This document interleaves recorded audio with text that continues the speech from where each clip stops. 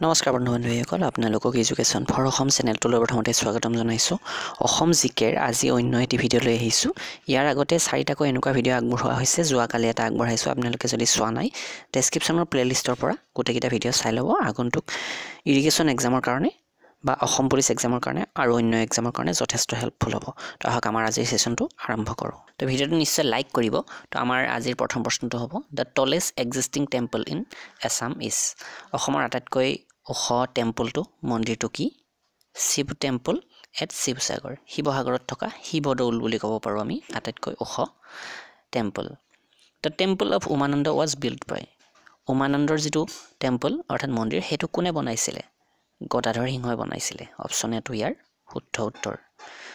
The Assam valley literary award for two thousand ten was conferred on Assam valley literary award এইটো এটা সন্মান হয়। দুহেজাৰ দহৰ এইটো এটা তেতিয়াৰ প্ৰশ্ন আছিলে কিন্তু বৰ্তমান এতিয়া কাক দিছে তেনেকৈ আহিব। তো সেইটো আপোনালোকে চাই ল'ব নাইবা নেক্সট ছেশ্যনত মই দি দিম। তো এইটো হৰে কৃষ্ণ ডেকা নামৰ এগৰাকী ব্যক্তিক দিয়া হৈছিলে এই সন্মানটো দুহেজাৰ দহ চনৰ। Assam Sahitya Sabha conferred Sahitya Rathi Lakshminath Bezbaroa award two thousand eleven on দুহেজাৰ বাৰ চনৰ এক্সামত অহা প্ৰশ্ন হয় তো সেইকাৰণে এইটো ইয়াতে অন্তৰ্ভুক্ত কৰা হৈছিলে। সাহিত্যৰথী লক্ষ্মীনাথ বেজবৰুৱা এৱাৰ্ড নামৰ এটা বঁটা আছে। এই বঁটাটো দুহেজাৰ এঘাৰত বাপচন্দ্ৰ মহন্ত নামৰ এগৰাকী ব্যক্তিক দিয়া হৈছিলে। তো লেটেষ্ট যাক যাক দিয়া হৈছে সেইখিনি নেক্সট ছেশ্যনত আপোনালোকক মই আগবঢ়াম। In two thousand eleven Padmashri was conferred on Padmashri বঁটা দুহেজাৰ এঘাৰত কাক দিছে? মহিম বৰা। চাৰিগৰাকী ব্যক্তিৰ নাম দিছে মহিম বৰাক দিছিলে এই বঁটাটো Assamese film Manjai got the national award Rajat Kamal in. Manjai নামৰ অসমীয়া বোলছবিখনে ৰজত কুমাৰ বঁটা পাইছে যিটো ৰাষ্ট্ৰীয় পৰ্যায়ৰ হয় সেইটো দুহেজাৰ দহ চনত পাইছিলে। সাত নম্বৰ প্ৰশ্ন হ'ব আমাৰ এইটো। Doctor Bhupen Hazarika did P H D research at Bhupen হাজৰিকাদেৱে পি এইচ ডি ডিগ্ৰী ক'ত পাইছে? কলম্বিয়া ইউনিভাৰ্চিটিত পাইছিলে। অপশ্যন চিটো ইয়াৰ শুদ্ধ উত্তৰ। আঠ নম্বৰটো সিদ্ধাৰ্থ শৰ্মা গট বল পুৰস্কাৰ of Sahitya Akademi for his book Siddhartha শৰ্মাই এই পুৰস্কাৰটো কোনখন কিতাপৰ পাইছে? কিতাপৰ কাৰণে পাইছে? দ্য গ্ৰাছ হুপাৰ্ছ ৰাণ নামৰ কিতাপখনৰ কাৰণে। বাল পুৰস্কাৰ সাহিত্য একাডেমী। ন নম্বৰটো in which film doctor Bhupen Hazarika sang for the first time. Doctor Bhupen হাজৰিকাদেৱে প্ৰথমবাৰৰ কাৰণে কোনখন বোলছবিত গীত গাইছে? ইন্দ্ৰমালতী নামৰ গীত বোলছবিখনত। যথেষ্ট ইম্পৰ্টেণ্ট প্ৰশ্ন এইটো। ইয়াৰ পিছতে doctor Bhupen Hazarika was elected president for the Assam Sahitya Sabha in Assam সাহিত্য সভাৰ প্ৰেচিডেণ্ট হিচাপে ডক্টৰ ভূপেন হাজৰিকাদেৱে কোন চনত ইলেক্ট হৈছিলে? ঊনৈছশ তিৰান্নব্বৈ চনত। Doctor Bhupen Hazarika was awarded Dada Saheb Phalke award for the year Bhupen হাজৰিকাদেৱক Dada Saheb Phalke পুৰস্কাৰ প্ৰদান কৰা হৈছিলে। কোন চনত? ঊনৈছশ বিৰান্নব্বৈ চনত। ইয়াৰ পিছৰটো in nineteen seventy six doctor Bhupen Hazarika was awarded with the ঊনৈছশ ছিয়ত্তৰ চনত ভূপেন হাজৰিকাদেৱক এটা সন্মান প্ৰদান কৰা হৈছিলে সেইটো হৈছে Swarnakamal.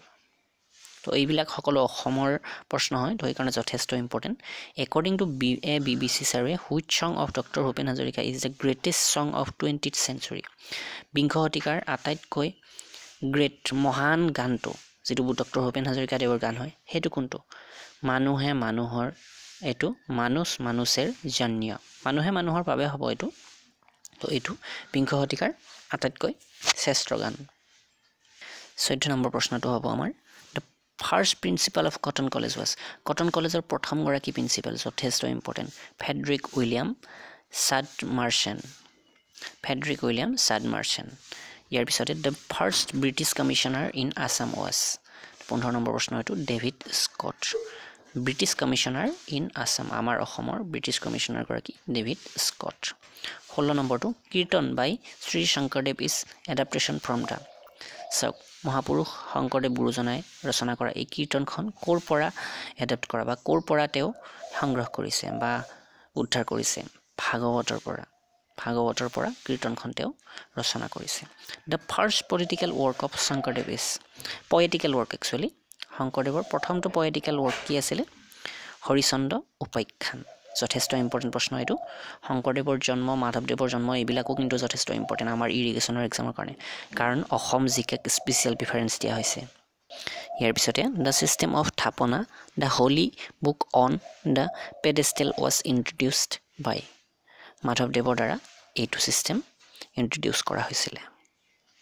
The first work from মাধৱদেৱ ৱাছ মহাপুৰুষ এই মাধৱদেৱ পুৰুষৰ প্ৰথম কামটো কি আছিলে? জন্ম ৰহস্য নামৰ কিতাপখন। আৰু মাধৱদেৱ পুৰুষৰ আটাইতকৈ ইম্পৰ্টেণ্ট ৱৰ্ড কিছুমান কি কি আছিলে? আটাইতকৈ ইম্পৰ্টেণ্টটো হৈছে নামঘোষা যাক হাজাৰী ঘোষা বুলি কোৱা হৈছে। এহাজাৰ এটা ঘোষা আছে সেইখনত। তো সেইটো প্ৰশ্ন আমাৰ এক্সামত আহি থাকে। তাৰোপৰি মাধৱদেৱ পুৰুষৰ ৰচনা আছে।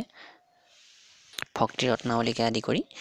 ইয়াৰ পিছতে the first editor of Arunodoi was এইটো যথেষ্ট ইম্পৰ্টেণ্ট প্ৰশ্ন। অৰুণোদয়ৰ প্ৰথমগৰাকী এডিটৰ কোন? Nathan Brown Nathan Brown the first sonnet writer of Assamese অসমৰ প্ৰথমটো চনেট মানে চৈধ্যহাৰীৰ যিটো কবিতা সেই কবিতাটো প্ৰথম ৰাইটাৰ কোন? হেমচন্দ্ৰ গোস্বামী।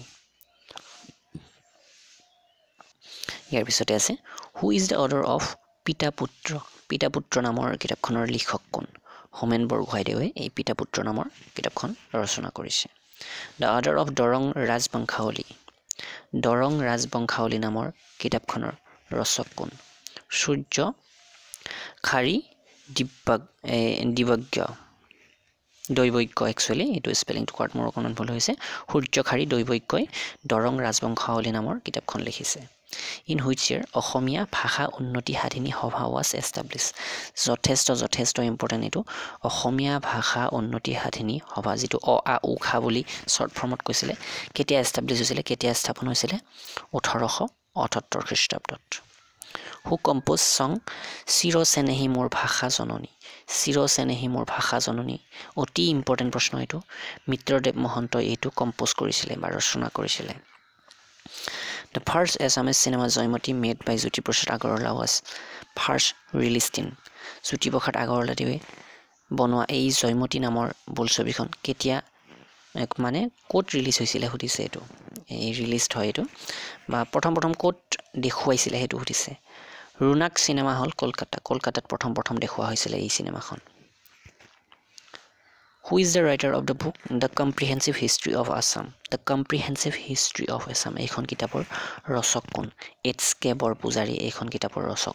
ইয়াতে মই যিবোৰ প্ৰশ্ন আলোচনা কৰি আছোঁ গোটেইবিলাক আমাৰ ইৰিগেশ্যনৰ ছেকশ্যন এছিষ্টেণ্ট বা জুনিয়ৰ এছিষ্টেণ্ট আৰু আগন্তুক অসম পুলিচ এছাৰ কাৰণে যথেষ্ট ইম্পৰ্টেণ্ট আৰু এ পি এছ চি এক্সামৰ কাৰণেও এই প্ৰশ্নবিলাক যথেষ্ট ইম্পৰ্টেণ্ট তো আপোনালোকে যদি এ পি এছ চিৰ কিতাপ কিনিম বুলি ভাবিছে ডেছক্ৰিপশ্যনত লিংক এটা দিয়া আছে তাতলৈ গৈ চাই ল'ব পাৰে এ পি এছ চিৰ কাৰণে বিভিন্ন ধৰণৰ কিতাপৰ লিংক তাতে দিয়া আছে।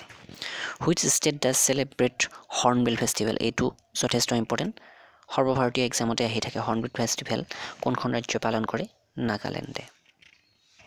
ইয়াৰ পিছতে আছে which one of the following states does organize a holy fair Maghe Sankranti Mela. Maghe Sankranti Mela নামৰ এটা ফেষ্টিভেল হোলী ফেষ্টিভেল পালন কৰে কোনখন ৰাজ্যই? তো সেই ৰাজ্যখন হৈছে Sikkim.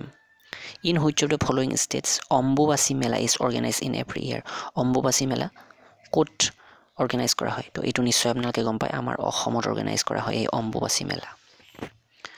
Which of the any state is associated with Garia Puja N E state মানে নৰ্থ ইষ্টাৰ্ণ ষ্টেটৰ কথা কৈছে। গাৰিয়া পূজা নামৰ এই পূজাটোৰ লগত কোনখন জড়িত হৈ আছে? ত্ৰিপুৰা। আমাৰ অসম জিকে বুলিয়ে ক'ব পাৰি।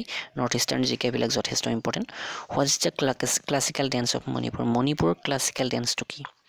ৰাসলীলা আমাৰ ক্লাছিকেল ডেন্সটো কি? সত্ৰীয়া নৃত্য। আৰু বহুতো ক্লাছিকেল ডেন্সৰ কথা আছে সেইবিলাকো আপোনালোকক মই যথেষ্টখিনি আগবঢ়াইছোঁ ইতিমধ্যে। Which is the biggest medical campus in any north ইষ্টাৰ্ণৰ আটাইতকৈ ডাঙৰ মেডিকেল কেম্পাছ কোনখন? Assam medical college Dibrugarh. ডিব্ৰুগড়খন আটাইতকৈ ডাঙৰ। Name the political leader from north east to be the Lok Sabha speaker Lok Sabha speaker হোৱা আমাৰ north ইষ্টৰ এগৰাকী political leader কোন? পূৰ্ণ অগিতক চাংমা পূৰ্ণ আজিতক চাংমা লোকসভাৰ স্পীকাৰ হৈছিলে আমাৰ নৰ্থ ইষ্টাৰ্ণৰ পৰা। Who did inaugurate the statehood of Nagaland. নাগালেণ্ডৰ ষ্টেটহুড কোনে ইনাগুৰেট কৰিছিলে? ডক্টৰ সৰ্বপল্লী ৰাধাকৃষ্ণন দেৱে। সৰ্বপল্লী ৰাধাকৃষ্ণন দেৱৰ কথা নিশ্চয় আপোনালোকে জানে। ইয়াৰ পিছতো যথেষ্ট important who was the first men from north east to be the chief election commissioner of India C E C of India north ইষ্টাৰ্ণৰ পৰা প্ৰথমগৰাকী ব্যক্তি J M Lyngdoh J M Lyngdoh নামৰ ব্যক্তিগৰাকী প্ৰথম প্ৰথম চিফ ইলেকশ্যন কমিশ্যনাৰ হৈছিলে। বৰ্তমান কোন? তো আপোনালোকে কমেণ্ট কৰিব। Which is the most crowded religious tourist spot in north east most crowded religious tourist spot in north east কৈছে। কামাখ্যা টেম্পলত আটাইতকৈ বেছি ক্ৰাউড হয়। মানে বহুত মানুহ আহে আৰু। এইটো ধৰ্মীয় এটা অনুষ্ঠান হয়। Which state does celebrate the Brahmaputra beach festival as a tourist festival এইটো আমাৰ যথেষ্ট ইম্পৰ্টেণ্ট প্ৰশ্ন। ব্ৰহ্মপুত্ৰ বিচ ফেষ্টিভেল আৰু কোনে পালন কৰিব? এই টুৰিষ্ট ফেষ্টিভেলটো আমাৰ অসমে পালন কৰে। তো ইয়াৰ পিছত এটা লাষ্ট প্ৰশ্ন in which year did doctor Birendra Kumar Bhattacharya receive the Jnanpith award for his novel Mrityunjay এতিয়া এইটোত ভালকেইটা প্ৰশ্ন হয় মৃত্যুঞ্জয় কোনে লিখিছে? ডক্টৰ বীৰেন্দ্ৰ কুমাৰ ভট্টাচাৰ্যদেৱে লিখিছে আৰু এইখনৰ কাৰণে জ্ঞানপীঠ বঁটা লাভ কৰিছিলে ঊনৈছশ ঊনাশী চনত। তো আপোনালোকে নিশ্চয় ভিডিঅ'টো লাইক কৰিব আৰু এছ এছ চিৰ কাৰণে বা আগন্তুক এক্সামবিলাকৰ কাৰণে এখন বেষ্ট কিতাপ মই ডেছক্ৰিপশ্যনত লিংকত দি দিছোঁ যিখনত G K maths reasoning English সকলো টপিক কভাৰ কৰা আছে। তো সেইখন আপোনালোকে সোনকালে অৰ্ডাৰ অৰ্ডাৰ কৰি কিনি ল'ব। তিনিশ তেইছ টকা লিখা আছে তো তিনিশ তেইছ টকাতে পাই যাব অনলাইন কিনিলে। এনে কিতাপখনৰ দাম পাঁচশ টকা। তো ভিডিঅ'টো ইমানখিনি ধন্যবাদ।